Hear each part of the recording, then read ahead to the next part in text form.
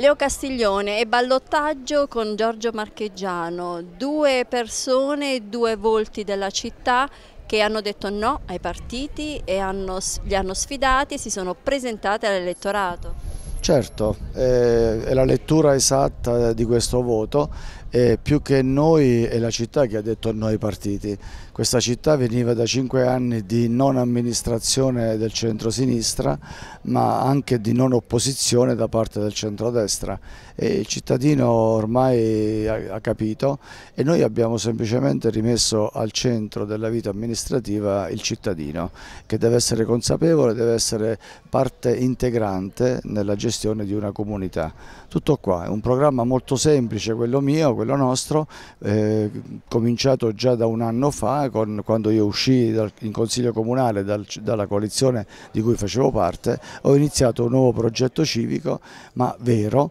non di un'appartenenza, ma che eh, vede all'interno di,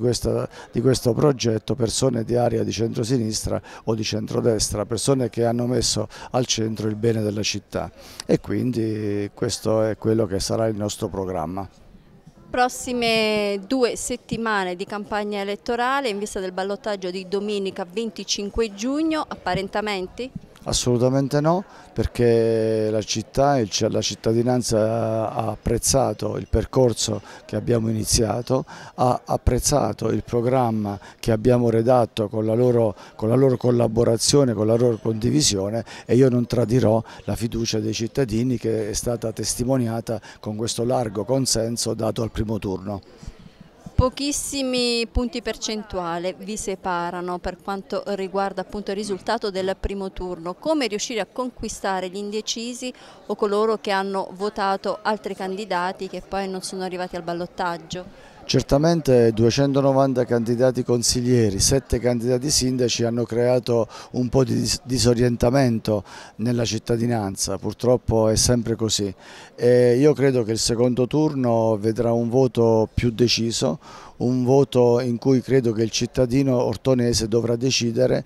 tra due squadre, una squadra fatta di, di, giovani ma non solo, che predica il rinnovamento ma all'interno delle liste vede molti ex amministratori nascosti all'interno delle liste. E invece dall'altra parte una squadra che ha progettato il rinnovamento e l'ha praticato con tre liste civiche composte da 48 persone che tranne il dottor Vincenzo Polidori che ha avuto un'esperienza amministrativa sono tutti, eh, tutte persone senza mai aver avuto un incarico amministrativo,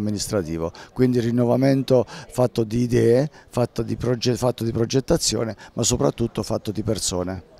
Se dovesse eh, essere eletto sindaco il 25 giugno, il primo problema da affrontare per Ortona? Il decoro della città, il, la revoca della delibera del GPL, la salvezza del pronto soccorso dell'ospedale.